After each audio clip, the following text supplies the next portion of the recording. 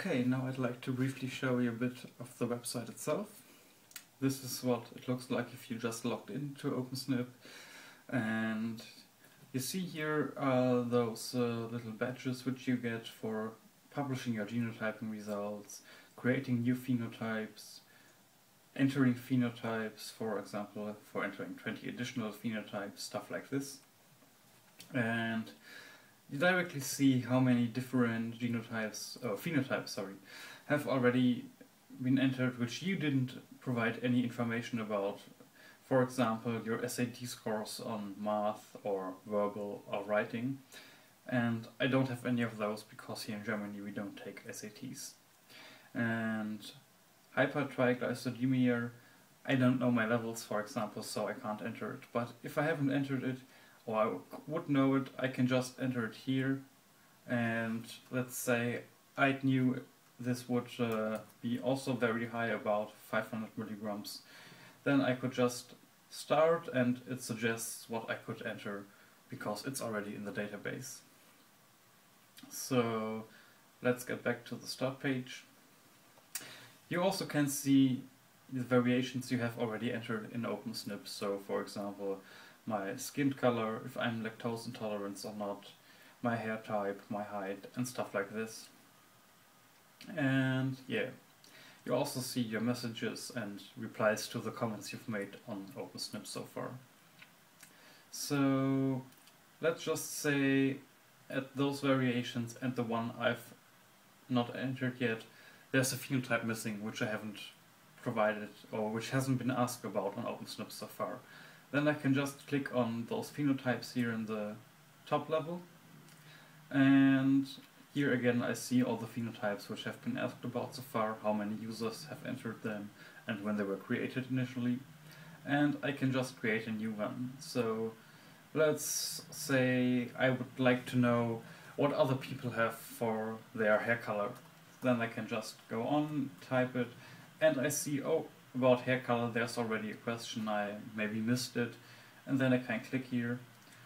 And then, of course, I can give a description. If hair color wasn't already in the OpenSNP database, I could say, what natural hair color do you have?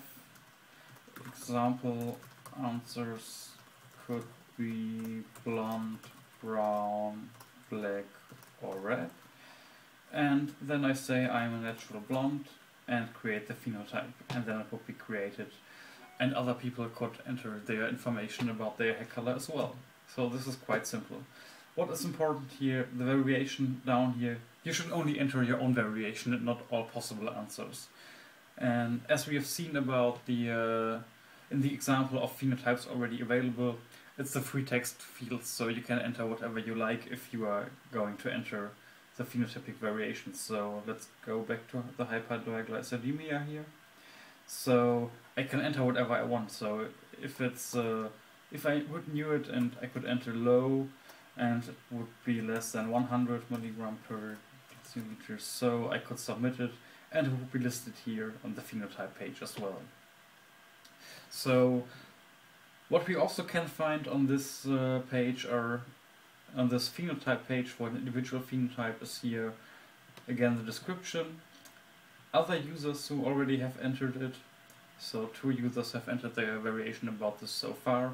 And if I want to download all genotype, uh, phenotype, genotyping files of users who have entered this specific variation at a given phenotype, I can just click here.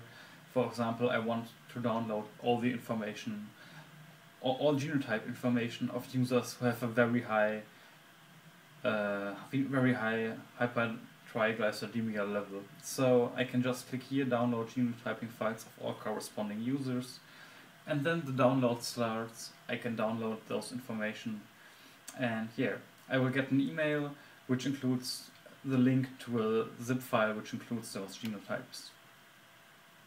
But I also can, if I'm really interested in hypertriglyceridemia, can use an RSS feed. So here's the RSS feed which includes all genotyping files of users who have entered any variation about this hypertriglyceridemia. So I can just add this to my Google Reader and I will see whenever a new genotype has been uploaded or if there's a user who has uploaded his phenotype and entered his variation about this phenotype. This makes it easy to keep track which files you might need new for your studies. So yeah, this is it about the phenotypes and once again on the phenotypes here you can enter. So another interesting thing of course are the genotypes. If I click on genotypes here on the top level, I get here, you see how many users have uploaded their data so far, which file format this in, and this is mainly 23andMe right now, but also some family tree DNA data has been uploaded. And well, I can just click here on individual files and download them if I'm interested in individual files. For example, here the Denisova hominin. This is an uh, fossil and it's an ancient DNA example, and I think it's about 41,000 years old. So if I want to see the genotyping results of this old individual, I can click here and get the variation of this fossil individual. So again, there's an RSS feed if you're interested in getting notification about any new genotyping files, you can use this. And what's also interesting is you can get a complete dump of all the data. This includes not only all genotyping files, but this also includes a spreadsheet with all phenotypic variations those users which up have uploaded their genotypes have entered so far. So you get all the data you could possibly want, which is available on OpenSNP as a single download.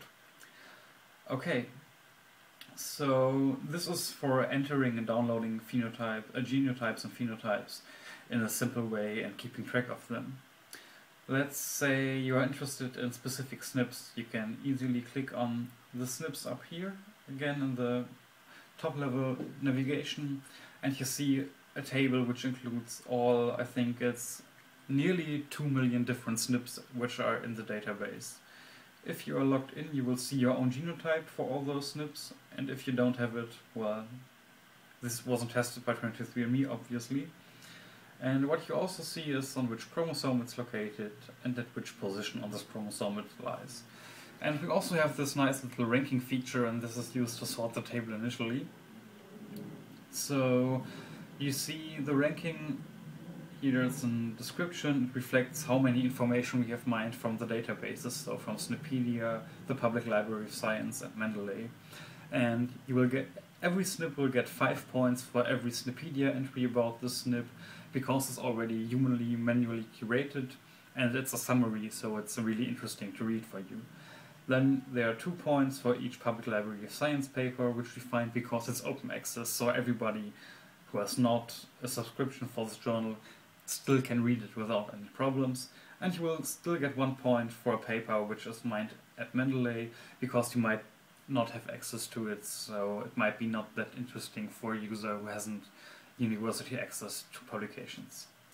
So let's click here on the highest ranking. We have 45 points for this and this SNP again leads you to this page. You see the basic information again, your own genotype. You will see the frequencies, how many people have my genotype or have other genotypes and how other allele frequencies at the SNP. Then down here you see the different information sources. So you can see this is my genotype, AT, I have a 1.3 three times the risk for type 2 diabetes and for obesity. And if I click on this, I'll directly go to the SNPedia and can see about the SNP, the different genotypes, stuff like this. Okay, so if I click here on the Public Library of Science, I get the publications from the different authors, their titles, when they were published, and how many people have already read it on the Public Library of Science. So, for example, this the first one is quite new. It's published last year. It's about the variants in inflammatory markers throughout a broad range of body mass index. This is again obesity related. And if I'm interested, I can just click on the title and it will directly take me to the Public Library of Science where I can read the full text of this article. So this is quite nice if you oh, if you're interested in reading more about this and what they found out about the SNP. Similarly for Mendeley, you get again the authors, the titles, the number of readers on Mendeley, and if you click on the titles, it will take you to the Mendeley page of this paper, where you can read the abstract and related research, stuff like this, if you really want to dig into a single SNP. And what's also nice is, if it's an open access paper, like here again, it's on the Public Library of Science, it's a similar one, then what we get here is this open access logo, and if we have a digital object identifier, you can just click on it, and again, you go straight to the publication, and you can read it if it's open access. So yeah, this works quite well. And of course you can read about other users, you can see those who are in boldface have again my genotype at this position for this SNP.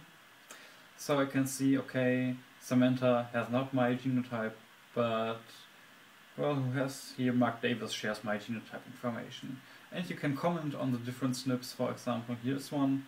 So Philip said, Here's an interesting paper. It states that the risk for obesity related to the SNP can be attenuated by roughly 30% if people carrying it regularly exercise. So you could well get some tips how to counter the effects of those specific SNPs, which might be interesting for you.